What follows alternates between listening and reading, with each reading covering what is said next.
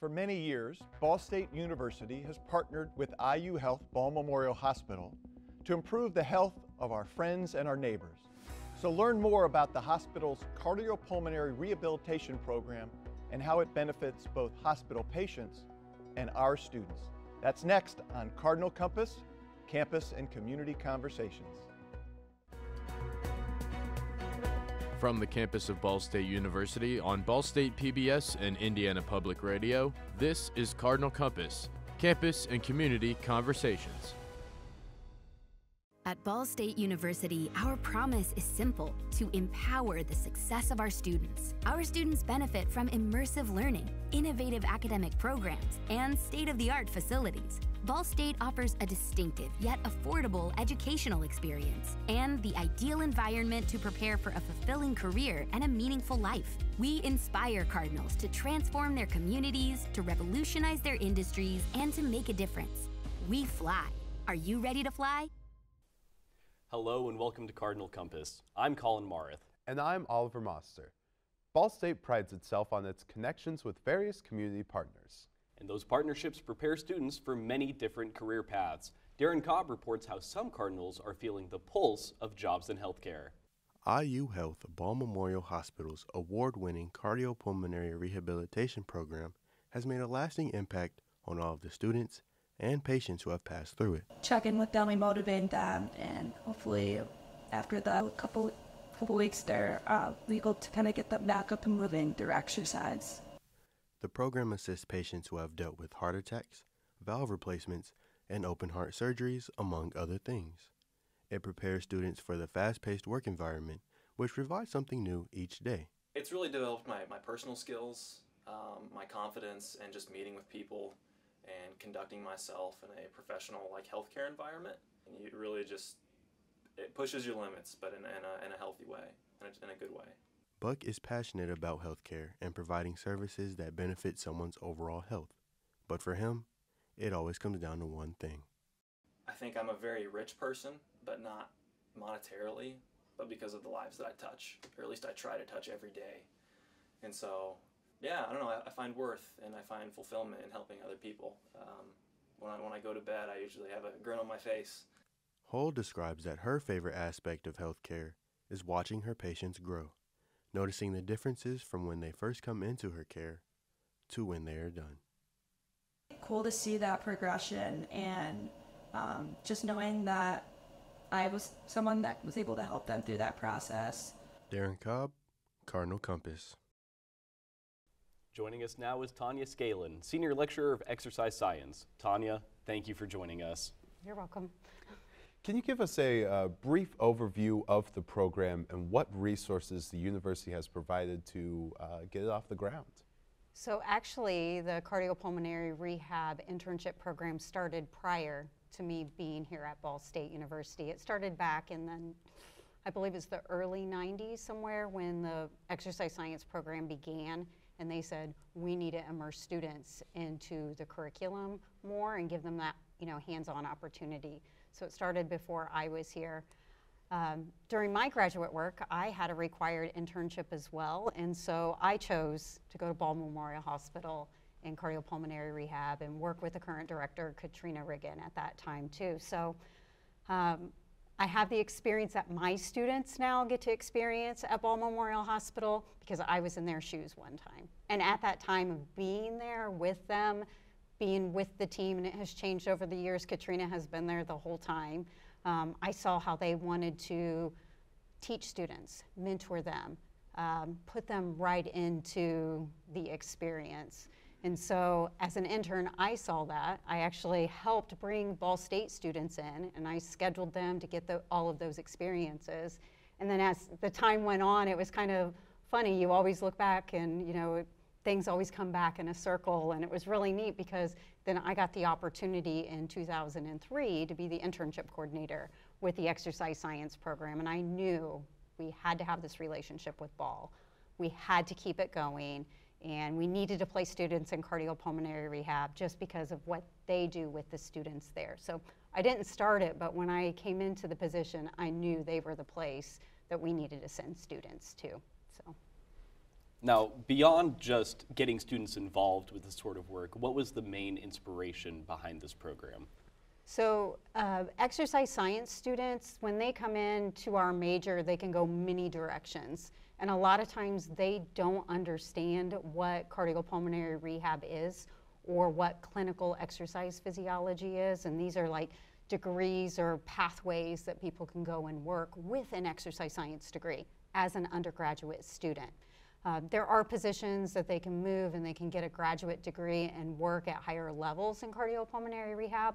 But what's neat is that you can work as an undergraduate student in cardiopulmonary rehab. You can do stress testing with them as well with an undergraduate degree. So it's really important for students to uh, go into a, a venue or a place like the cardiopulmonary rehab unit at Ball Memorial, knowing that once I graduate from Ball State, I can go and I can work here if I don't want to continue school. But if I do want to continue school, there's that mobility to move up in leadership roles as well. So I feel it's really important for those students to know that if I want to continue my education, I can.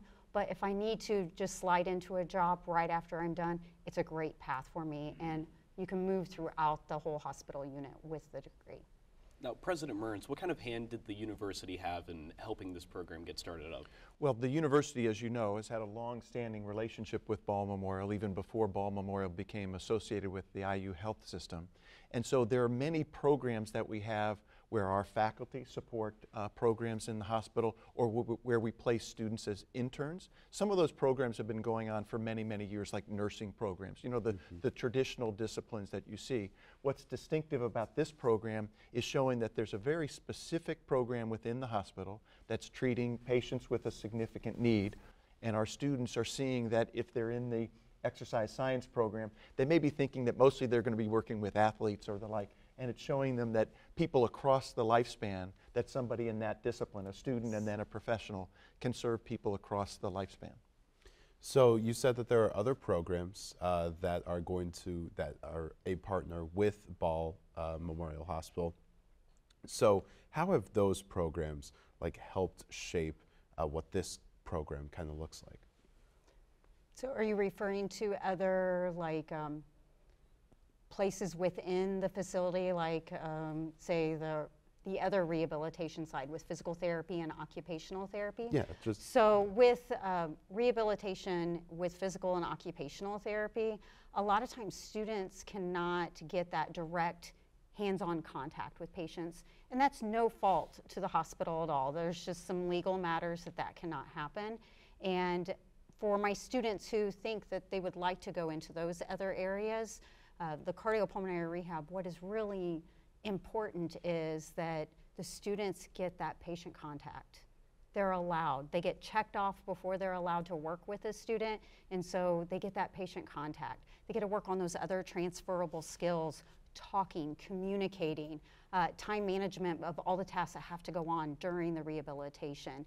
And so students that go into cardiopulmonary rehab actually get to do those tasks and then they can transfer those skills later if they choose to take the path of physical or occupational therapy. Not saying that students can't do their internships in those areas because we do have students, we have a great relationship with uh, the rehabilitation unit, but um, for students who want that direct patient care, cardiopulmonary rehab really assists them with that. So uh, just I just like to build relationships with people where the students can get that one-on-one contact because that's what's important really for the students to learn. And the students can find out whether this is a particular program or aspect of healthcare that they enjoy and find gratifying and so want to continue to yeah. pursue it. And I suspect that some of the students in the program will realize maybe this isn't quite for me and I'm going to experiment with another internship uh, so that I find a particular discipline uh, or aspect that is rewarding. A little like what you're doing uh, by helping to produce this program. Yeah, exactly. Uh, and I wanted to ask too, uh, how have other programs and internships helped influence and shape this partnership? Well, it's, you know, I sit and I think about it, and this partnership has been built prior to me entering or coming to Ball State. So, what we have done is just say, how can we get more students involved in mm-hmm. it? Because it used to just be one, two, but but there's times that we can get up to four or five students involved as well. And so I worked with the coordinator and say, how can we, you know, keep more students involved? And so we bring them in as lower underclassmen, you know, those freshmen and sophomore, get them exposed to the experiences so then they can go, oh, this is what I like. And then maybe then build that up into an internship program. And so I think it, it all circles back around as the experiences that they get there. And so the other programs, yes, they all build upon one another, but creating the, the circular patterns that we have of undergraduates building into the internship, um, coming from their practical experiences. And we know there's a need in our region for more trained professionals in this particular discipline, so it feeds that talent pipeline. No, absolutely. Uh, and President Mearns, I wanted to ask you as well, uh, with this partnership, how has uh, Ball State been helping shape it and change it on a day-to-day basis? Well, I think w- uh, in my experience, and Tonya, you can tell me, that this is a genuine partnership. So we identify issues that need addressing, and we bring our resources together to try to address those and find solutions. So the program continues to evolve like all of our programs like that.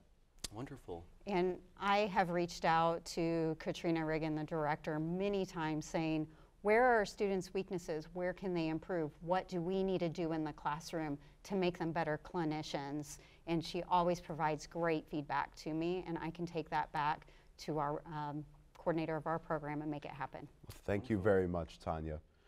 While students learn real world lessons from their experience in IU Health Partnership, others get a lot out of it too.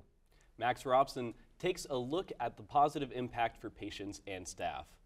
Inside the South Tower Ball Memorial Hospital lies the Cardiopulmonary Rehabilitation Center, where Ball State students learn through experience. But they aren't the only people benefiting. with the students when we get them it actually gives the staff a little more time where we can interact more with the patients ourselves because we have that extra hand As Anna Taylor and her staff get extra hands on deck, the patients get to enjoy their home away from home, making connections with the students who assist them. they become almost part of the patient's family because they know the patient's name they ask them questions that they talked about things from the day before As the students become a second family, they continue to learn about their future and patients. Well, they, of course, they take our stats, and we feel like oftentimes we get to personally know them, and uh, interaction's just been great. The students' young and positive energy helps the patients enjoy their time while they work out and stay active. They've been very uplifting. Uh, we've liked the interaction with them, and uh, felt they were very personable, and uh, almost without exception, uh, we've appreciated very much the interaction with the with the students. Ball Memorial Hospital staff hopes to continue these positive interactions for years to come. Max Robson, Cardinal Compass. Joining us now is Katrina Riggin, Manager of Cardiac Ancillary Services for IU Ball Memorial Health Hospital. Katrina, thank you for joining us. Thank you for having me. So, how long have you been working at the hospital, and what does cardiac ancillary mean? So I've been at IU Ball my entire career, postgraduate work. Um, it's 27 years this year, and my job title, Cardiac Ancillary Services, includes the cardiopulmonary rehab services at IU Health Ball and Jay hospitals, as well as I co-manage the Heart and Lung Center and our MIH Community Paramedicine Program. So I have kind of a wide community offering in the outpatient region. And how long has the uh, Cardiac Ancillary Program been running? Well, cardiopulmonary rehab um, has been at IU Health Ball since 1976. Dr. Wayne Gray uh, went to the board of directors, and it was identified as a very new, innovative best practice. And he was able to, from a cardiology perspective, bring it to our inpatient services. So it's very long established. We are one of the largest and longest established pa- uh, patient offerings in the state of Indiana. So, uh, you said you've been with the program since its beginning. Katrina said that as well. What are some of the changes that you've noticed from the beginning of the program to the to where it is now? Like, how have like day-to-day operations maybe changed, or how has like students and staff? how have they changed as well? Well, I haven't been there quite since the beginning. uh, the, it was established actually probably about 10 years before I arrived on site. Um, and I had a really strong foundation to work with with students um, because I actually was a graduate student who came from Ball State to the program at Ball, and that's how I was introduced there myself. So I kind of came through the pipeline as well. Um, but one thing that we always have built on is that the students that come are part of our team.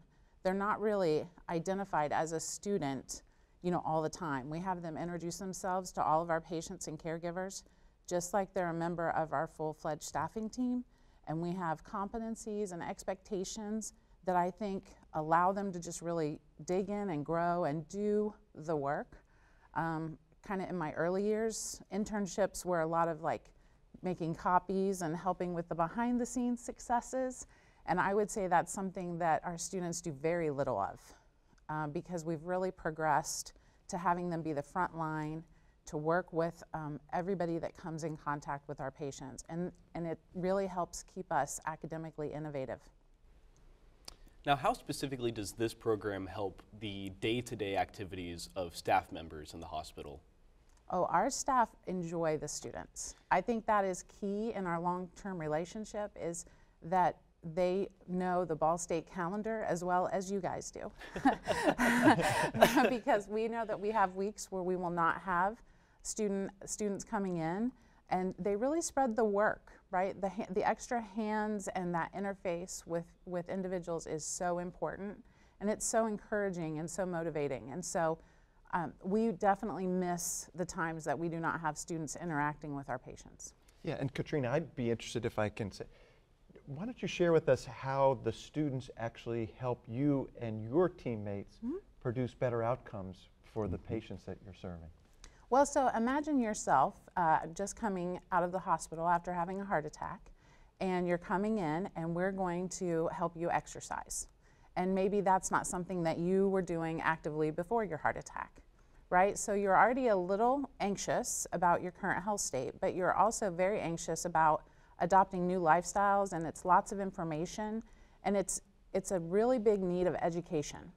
And so if you can have somebody who's kind of with you and doing one-on-one -on -one work for a couple of minutes um, at, at the side of the machine, that makes your time go faster it's more enjoyable. You get to know people on a personal level, and it helps with build that accountability, right? We have less absences because they know people will miss them.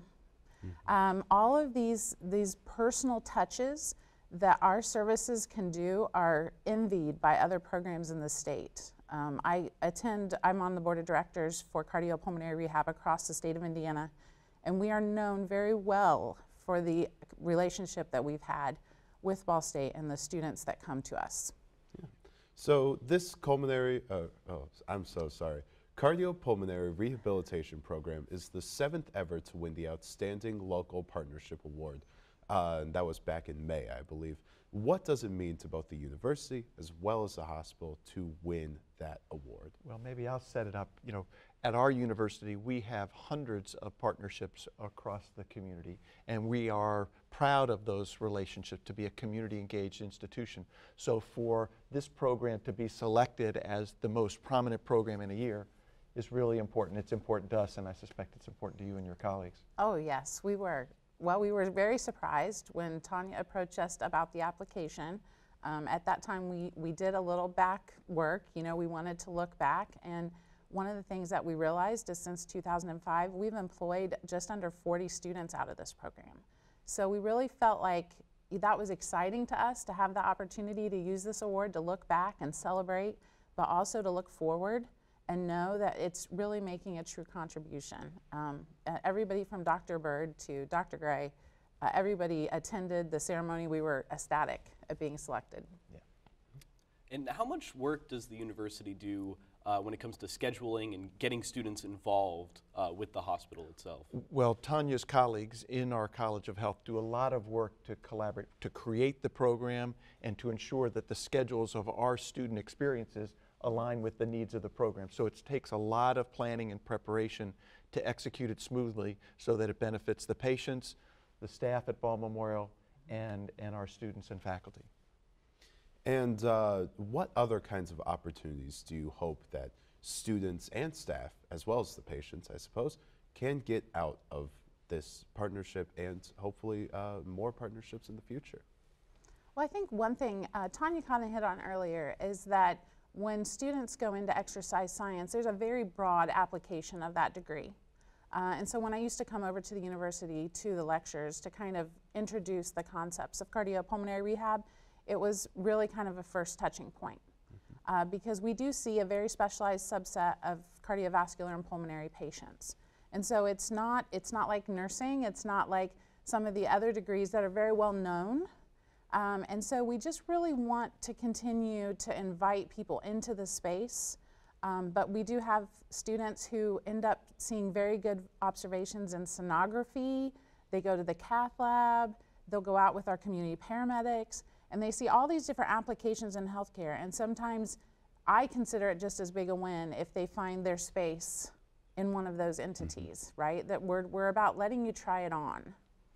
And, and as President uh, Mearns said earlier, sometimes it's, it's an obvious misfit. It is not at all what they thought it was going to be, but that's part of the learning process. And so there's just nothing wrong with that. Yeah. Katrina, thank you so much for joining us, but I'm afraid that's all the time we have there.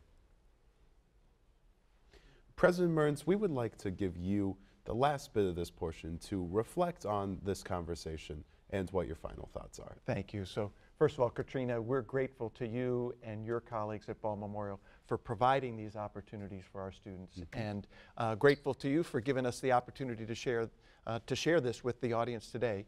Um, you know, Ball State and Ball Memorial Hospital, we're probably two of the most important assets uh, here in East Central Indiana.